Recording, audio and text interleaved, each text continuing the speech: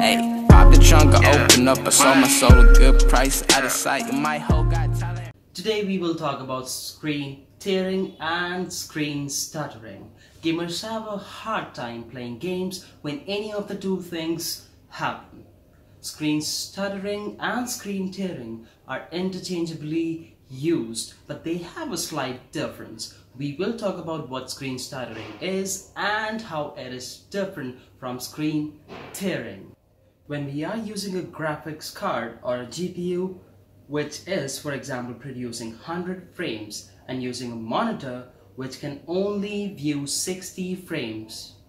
There will be a situation where screen tearing would occur because the monitor is not ready for the next frame when the image is refreshed and the GPU on the other hand is producing frames on a much higher rate.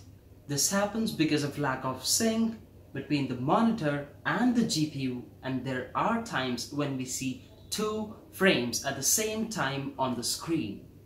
Now screen stuttering is a little different than screen tearing but it is also because of lack of sync between the monitor and the GPU. In this case, the GPU is not able to keep pace with the monitor. The monitor is ready to receive the next frame, but the GPU does not have the horsepower to produce or send frames at the right time to the monitor.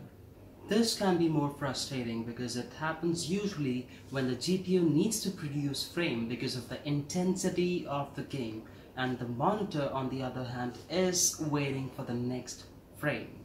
Talking about horsepower, check the link in the video description if you want decent parts for your next PC build.